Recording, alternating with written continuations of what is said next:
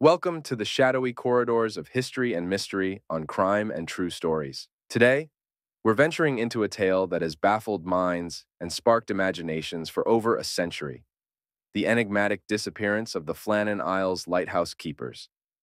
A story shrouded in mystery, set against the backdrop of a desolate, windswept island.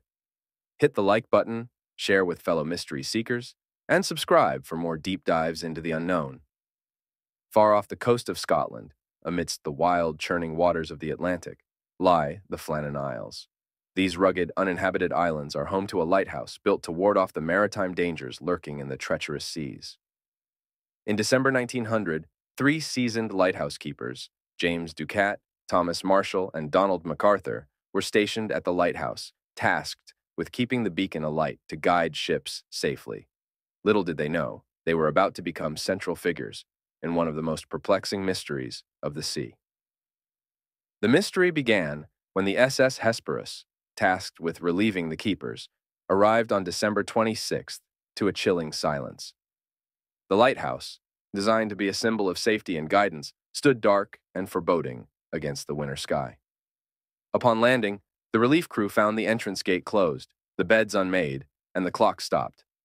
The lighthouse log was on the table, its entries revealing a tale of dread and confusion. But of the men themselves, there was no sign.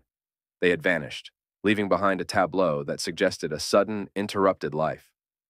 An official investigation ensued, spearheaded by the Northern Lighthouse Board. The logbook provided a cryptic narrative. Severe storms recorded when none had been reported in the area, tales of dread and despair among the seasoned keepers, and a final, eerie entry claiming calm seas. The lighthouse itself showed few signs of disarray, save for some storm damage to the exterior. No evidence of foul play emerged, nor any sign of a hurried escape. The investigators were left with more questions than answers, facing a riddle that the sea refused to relinquish. In the wake of the investigation, theories abounded. Some posited that a rogue wave had swept the men from the island during a freak storm. Others speculated about personal turmoil, leading to a tragic end.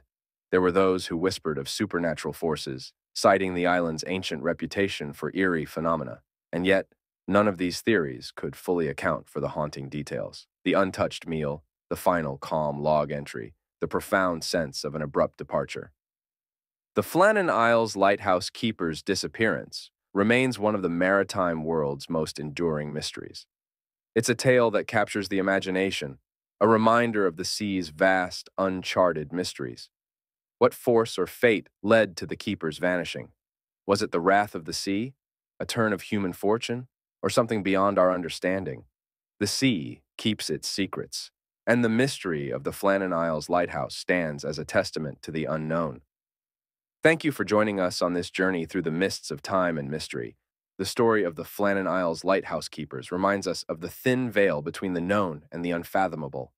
For more tales of the unexplained and the historical, make sure you're subscribed to Crime and True Stories and ring the bell to never miss out on our explorations into the darkness. Until next time, keep seeking the truth hidden in the shadows.